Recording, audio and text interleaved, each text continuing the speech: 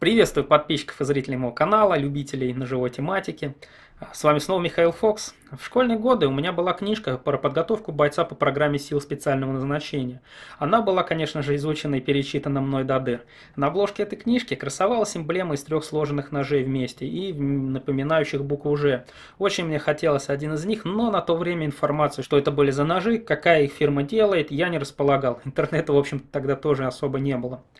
А, прошло время, и как-то раз разглядывая фото интересующих меня на то время ножей в интернете, я наткнулся на фото того самого желанного в детстве ножа. Им оказался экземпляр от фирмы Master of Defense, модель Mark 1 CQD. А, я был очень впечатлен его дизайном и больше, конечно же, ценой. На тот момент э, нож уже был снят с производства, фирма Master of Defense также прекратила свое существование, но, к счастью для меня, как выяснилось позже, права на дизайн этих ножей выкупила тайваньская фирма Black Hawk, а, выпустив свою линейку ножей по культовому дизайну. А, линейка их начала базироваться на моделях Mark 1 и Mark 2 CQD. Также каждая из этих модификаций получила вариант с нейлоновой накладкой на рукоять, а, получив при этом индекс Type E и, конечно же, меньшую стоимость.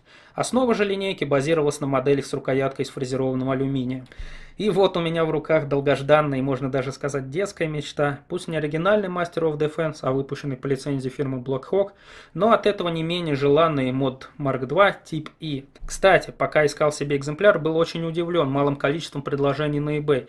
Э, такое чувство, что эти ножи перестали изготавливать. Кто в курсе, напишите, пожалуйста, в комментариях, э, что, в общем-то, с ними как обстоят дела. А посмотрим поближе на этого тактикульного помощника на каждый день. Понимаю, э, не каждый захочет таскать у себя на кармане такой мини-ломик, но для любителей тактик ножей, для ценителей дизайна Master of Defense это отличный бюджетный вариант, который, в отличие от исходного оригинального мода, а, не жалко и в дело пустить, а не сдувать с него пылинки раз в месяц и перекладывать с полки на полку. Блин, ну все равно, как ни крути, хочется оригинальный. Как ни крути. Ну что ж, рассмотрим конструкцию ножа, основных его элементов. А, сделан клинок из стали AUS-8, имеет покрытие из нитрит титана. Покрытие, надо отметить, у Blackhawk отличного качества, достаточно устойчивое. А, за три месяца использования потертости не обнаружено, но жестяные банки, в общем-то, я им и не вскрывал.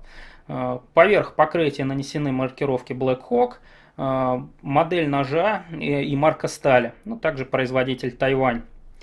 И если мне не изменяет зрение, то при определенном угле падения света на маркировку она отдает золотистым отливом. Ось клинка достаточно стандартна, фиксируется одним шестигранником. Это удобный момент при профилактическом ТО. Рукоятка ножа Type сделана из литого армированного нейлона и по качеству изготовления ничуть не уступает версии ножа с алюминиевой фрезерованной рукояткой. Все удобства и эргономика, к счастью, перебрались в эту модель от первых модов. Текстурная часть боковой поверхности а наждачная бумага также добавляет плюсик к надежному удержанию ножа при активной работе с ним. А фиксация же рукоятки клайнером реализована стандартными четырьмя винтами сквозными и также не вызывает сложности при разборке для технического обслуживания. А в верхней части рукоятки запрессован стеклобой из карбида. Внутри основной же силовой каркас ножа образован стальными лайнерами и одной бонкой. Банковские ячейки ему не вскрывать, а на остальные повседневные бытовые нужды он вполне себе сойдет. А при открытии фиксации клинка он упирается достаточно толстым двухсторонним шпеньком а, в ответные части лайнеров. Фиксация клинка замком Button Lock достаточно четко ощущается и тактильно, и упругим клацом замка. А для дополнительной фиксации клинка есть своеобразный механический предохранитель. Сделан он из того же армированного пластика, что и рукоятка, но особой надежности, честно, не внушает. Лично я его вообще не трогаю. А люфтов на данный момент на моем экземпляре нет, но второпластовые шайбы при возможности можно заменить на шайбы из цветного металла.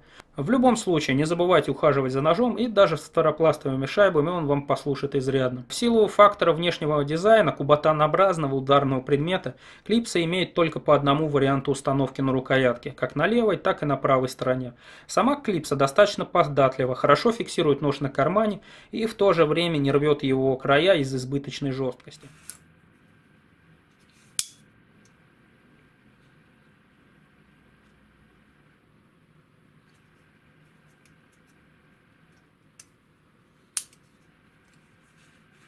А для любителей обвеса и придания индивидуальности вашему острому другу а, в рукоятке также имеется темлячное отверстие.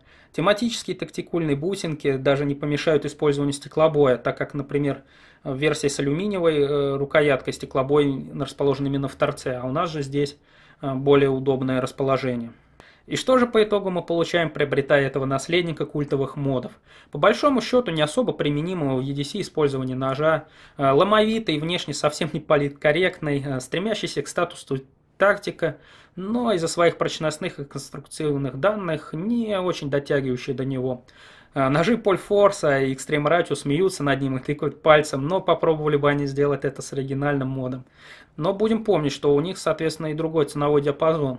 А для меня же, несмотря на все его минусы, он стал желанным помощником и уверенно осел на кармане. Рэмбо из меня и самооборонщик никудышный, а в хоз-бытовых целях он вполне достаточен. Плюс, как-никак, мечта детства. Ну что ж, такое вот видео. Спасибо за просмотр. Э, если будут какие-то вопросы, задавайте. И пока-пока.